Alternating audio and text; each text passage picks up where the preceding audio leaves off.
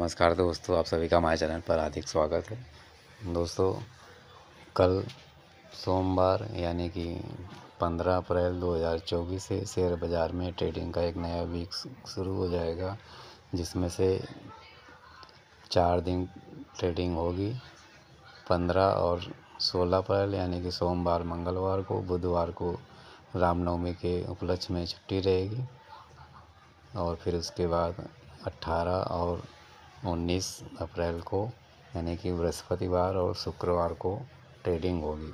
तो दोस्तों, जैसा कि अभी लास्ट वीक में बीएससी सेंसेक्स और एनएससी लगभग फ्लैट बंद हुए हैं। बीएससी में तीन दशमलव बत्तीस पॉइंट के गिरावट के साथ चौहत्तर हज़ार दो सौ पैंतालीस पर बंद हुआ और निफ्टी फिफ्टी पाँच दशमलव सात पॉइंट बढ़ करके बाईस हज़ार पाँच सौ उन्नीस पर बंद हुआ है।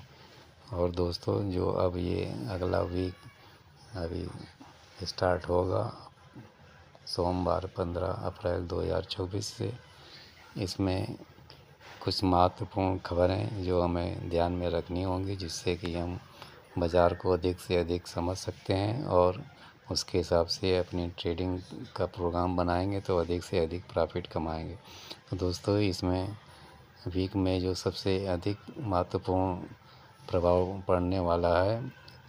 वो है अर्निंग्स का, जैसा कि अब क्यू फोर्स के कंपनियों के डाटा आने शुरू हो गए हैं तो इस हफ़्ते में लगभग तिरसठ कंपनियाँ अपना दम दिखाएँगी, जो कि अपने रिजल्ट्स घोषित करेंगी। इसमें से जो सबसे मुख्य कंपनियाँ हैं Infosys H D F C bank Bajaj auto H D F C assets management H D F C life insurance और विप्रो मुख्य रूप से कंपनियाँ हैं। इनके रिजल्ट्स बाज़ार को बहुत ही हिला डुला सकती हैं। इसके अलावा Jio financial services I C I Lombard Crisil Angels Tata communications persistence systems और I C I C securities के रिजल्ट्स आएँगे। इससे बाज़ार में स्टॉक स्पेसिफिक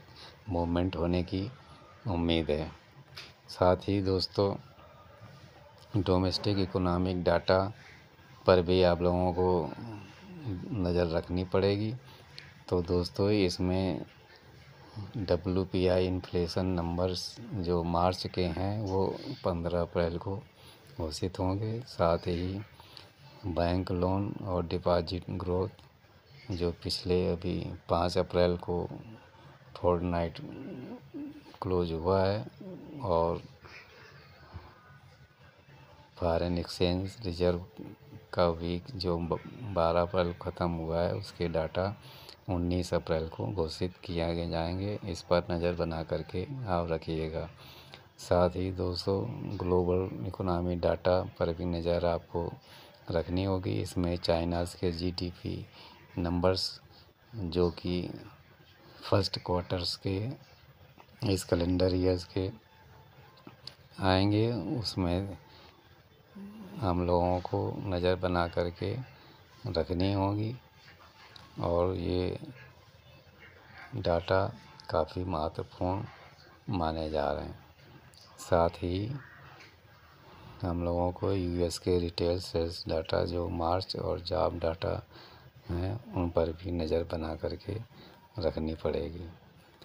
और दोस्तों, जो मुख्य खबर इस समय चल रही है बाज़ार के लिए, शेयर बाज़ार के लिए, वो है एफ़ दोस्तों एफ़ फिर से एक बार लगातार सेलिंग में लगे हुए हैं और इन्होंने अभी पिछले फ्राइडे को जब बाज़ार गिरी है तो उसमें लगभग आठ हज़ार करोड़ के शेयर्स बेच डाले हैं। और देखा जाए तो पूरे वीक में छः हज़ार पाँच सौ करोड़ के शेयर्स बेच डाले हैं। और पूरे इस महीने में, अप्रैल में अब तक की बात की जाए तो दस हज़ार तीन सौ बासठ करोड़ का माल कैश सेगमेंट से निकाल लिया है। ये एफ़ का माल निकालना थोड़ा शेयर बाज़ार के लिए अच्छा नहीं है और इससे बाज़ार में थोड़ा अफरा तफरी का माहौल बन सकता है, क्योंकि इस समय जो एफ़ आई जो अपना माल निकाल रहे हैं, उसमें से जियो पॉलिटिकल टेंशंस और इंडिया मॉरिटस टैक्स की जो वैल्यूएशन चल रही है, साथ ही यूएस बॉन्ड यील्ड जो बढ़ रहा है, उसकी वजह से एफ़ अपना माल निकालने में डटे हुए हैं। लेकिन अच्छी बात ये है कि डी आई बारह हज़ार दो सौ तैंतीस करोड़ का माल पिछले हफ़्ते में ख़रीदा हुआ है। और दोस्तों आईपीओ की बात की जाए तो इस हफ़्ते कोई भी मेन बोर्ड पर प्राइमरी मार्केट्स में आईपीओ नहीं है, लेकिन एसएमई की क्षेत्र में दो कंपनियाँ अपना आईपीओ ज़रूर ला रही हैं, जिसमें से पचास दशमलव तीन करोड़ का Ramdev Baba solvent public issue आ रहा है। साथ ही सोलह दशमलव पाँच करोड़ का ग्रिल स्प्लेंडर सर्विसेज़ का आईपीओ आ रहा है, जो कि पंद्रह अप्रैल से अठारह अप्रैल के बीच में खुलेगा।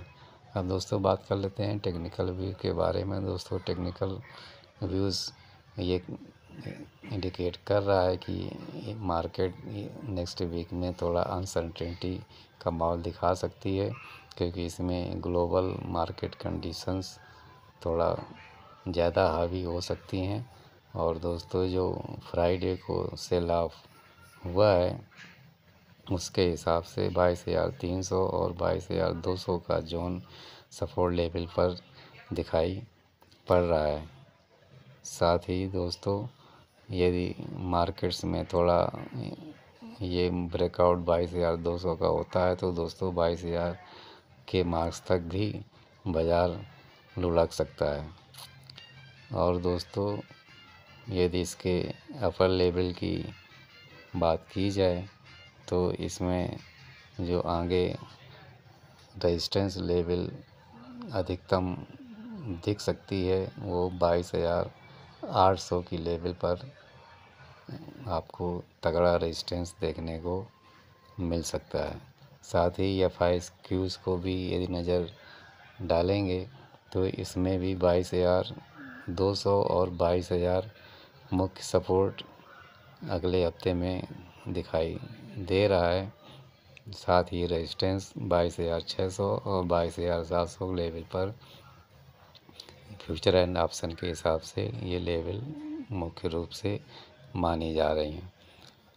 दोस्तों, ये थे मुख्य शेयर बाज़ार के लिए अगले हफ़्ते में मुख्य खबरों को ध्यान में रखने के लिए, जो कि हम बाज़ार को अच्छी तरह से समझ सकते हैं और अपने ट्रेड को अच्छी तरह से कर सकते हैं और अधिक से अधिक प्रॉफिट कमा सकते हैं। तो दोस्तों, मेरी तरफ़ से इस हफ़्ते में आप शेयर बाज़ार से अधिक से अधिक प्रॉफिट कमाएँ। इसके लिए मेरी हार्दिक शुभकामनाएँ। धन्यवाद।